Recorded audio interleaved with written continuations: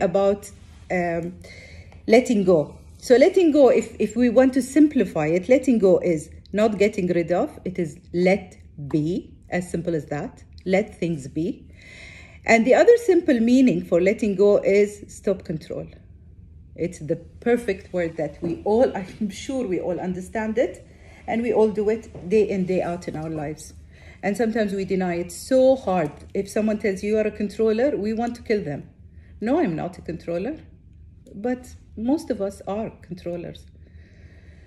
And I am a controller, and that's why I never understood the meaning of letting be, uh, let, uh, letting go. I never understood letting go because I was just busy controlling. And this brings me to the title. Why did I call it the year of letting go? Because definitely this year is a year that if I hadn't understood the meaning of letting go all these years, this year brought me to a very humble place of understanding what it means to let go.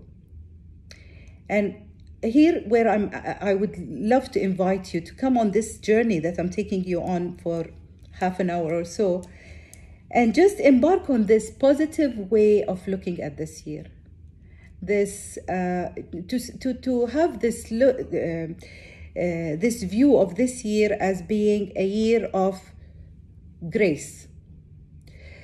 Looking at it as a grace period, actually.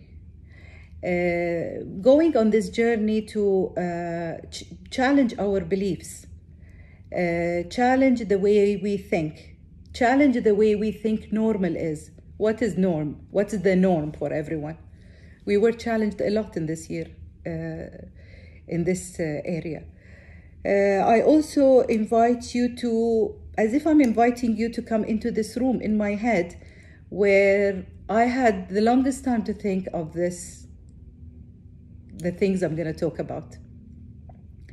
It's like uh, allowing ourselves to just feel free to think about this year in a different way than the way that the you know mass media the the, every, the our conditioned belief our way old way of thinking our our uh, old conditioning uh, يعني يفرض علينا او يحتم علينا شلون نفكر في هالفتره اوكي ابي نفكر غير عن كل الناس شلون فكروا ويمكن اكثرنا فكر بهالطريقه maybe most of us they thought of a very positive way. Maybe you saw all the graces. I don't think I'm saying something new actually. I'm just trying to see things in a different perspective than what has been repeated every single day on us. Uh, so I hope this journey will take you to the place I hope that we reach at the end of this uh, talk. So going back to letting go and this year being the year of letting go, the first thing that happened in this year that's so obvious everyone knows and everyone sees is detachment. We were all detached.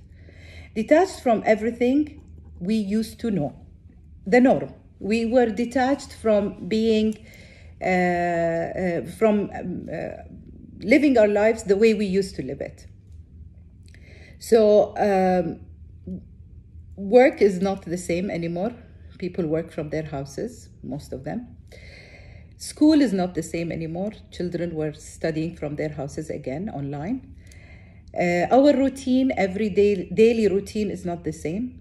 The people we see are not the same. The people we mingle with is not the same. Uh, we don't live life uh, according to our old way of living. It's, we detached from everything. We detached forcefully, whether we liked it or not we were like literally pulled away from everything we recognize and we know. And this detachment, now, throughout this talk, what I'm going to do is just see the thing that happened in this year, where we were challenged in it, and what is the grace. So just to make it clear in everyone's mind now, this is the, the process I'm going through. It's what was the the, the thing, the تغيير, the change that happened, and how did it challenge us? Where was the challenge? And the grace that we can find in it. لأن أنا ما I'm, I'm the person who believes that في كل مصيبة وفي كل حدث وفي كل مشكلة في لطف. والإنسان اللي يقدر يلاقي اللطف في المصايب اللي تصيبه في حياته أو تصيده في حياته هو الإنسان اللي راح يستفيد أن ويوظف هالأشياء في صالحه so you really put this in your own uh, it, makes you make the, these situations serve you rather than work against you so as I said, the first thing that happened, we detached. We detached from everything we know, from everything we love, from everything we uh, we are used to, and this detachment created a challenge.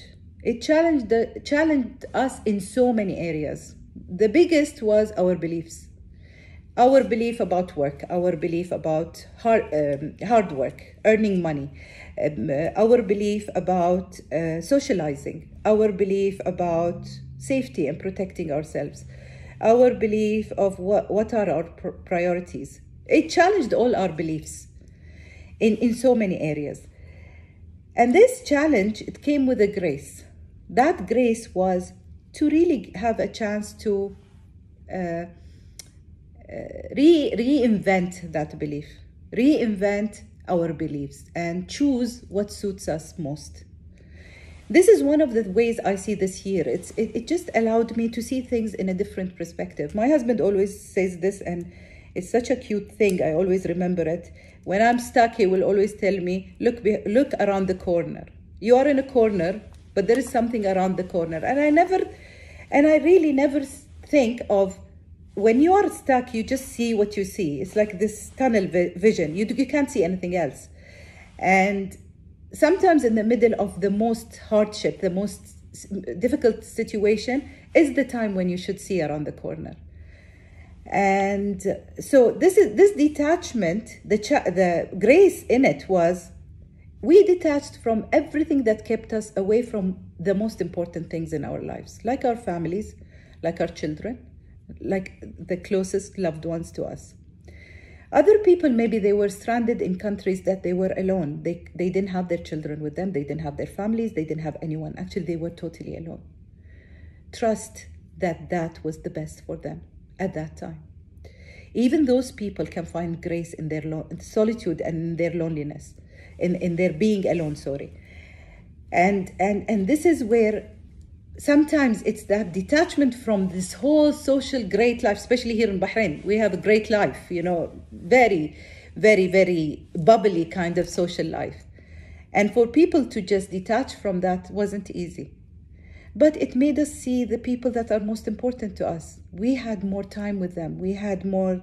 Um, we understood each other actually it, has been such a long time that we couldn't understand the, the people that are closest to us and we had enough quality time with them that really is all we needed. We used to have to think of breaks and you know to take break from work or from whatever it is just to be with to have family time. In this year we had the longest family time ever ever. And this is one of the graces that i really really thank god for and i see it so clearly. The other concept that i would like to also or the, it's one of the things that came to to my mind when I'm thinking of this year as the year of letting go is the concept of being alone or lonely. And again, I know many people understand what's the difference between lonely and alone. But to those who really it's it's new for them, it's two different meaning, meanings. Both of them are a, a state that a person in. Alone is a physical state and lonely is a psychological state. So, when you're alone, it means there's you're alone. There's no one with you. You're just by yourself. When you're lonely, you can be with many people. You can be surrounded with a whole party even, and you will still feel lonely. I think this period of time made us really realize the difference between these two words and differentiate between alone and lonely. Although we were all alone within our houses, within, within our homes, but I doubt we felt lonely. And if you did feel lonely, reflect on that. Why did you feel lonely? Where is this loneliness coming from? Again, I want to remind you in this talk, I'm not trying to give you answers and I'm not trying to uh, um, make this seem like it's I, I, I found the treasure of all treasures. No. It's just me reflecting on my own life in this year and just sharing it with you all. And maybe hoping that that some of you or all of you hopefully can find the graces that I found or even more. So again, lonely and alone. If for people who felt lonely, where does this loneliness come from? Reflect on that. Try to explore that feeling because it has nothing to do with the situation we are in. I was not I was uh, not supposed to even bring the word corona, but maybe we have to say it once or twice. So so really is it is it corona or is it us? And we needed that time to take that break to think of us. We were forced to just go back to ourselves. And then again, the lonely, the, the grace in being alone and lonely. What is it exactly? What was the grace? The grace was really reflecting. Again, it's reflecting, reflecting on things that we used to never do, like reflecting on your inner self, the things you need, the things you don't like, the things you like, your beliefs. That, again, a very big thing. What are really your beliefs? Is it time to change these beliefs? Is it time to really uh, explore these beliefs and see what doesn't work for you anymore and just let go of them? And find maybe others that really work for you? And reflection also, if we want to go into the, because I can't do it without going into the psychological part, the, side of everything. You know, this chance that we were given to reflect because we were left alo- alone and, and we had a lot of time to really think of so many things and we were pushed inward literally literally as the word uh, means we were all outside and then we were pushed into our houses into our homes. And really the home that i mean is yourself you, that inner home to reflect really on you and what you need and what what is how do you go from here? How do you make this work for you? And again, in as I said in psycho- psychology, self reflection is a very important process because self